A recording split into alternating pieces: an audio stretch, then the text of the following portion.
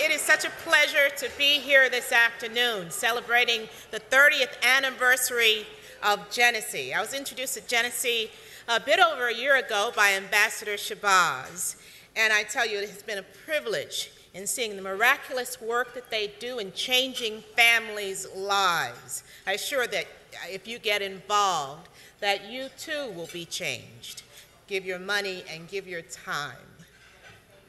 How do you explain the inability to live peacefully in your own home? You can't.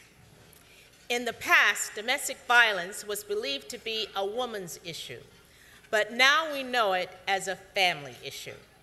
And with partners like today's honorees, we're able to better meet the challenges that these families face.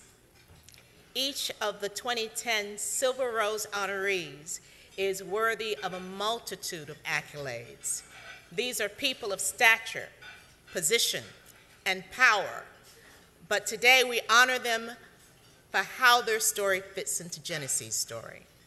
We recognize them for the condition of their hearts and for their commitment to using their gifts to making a difference in the world.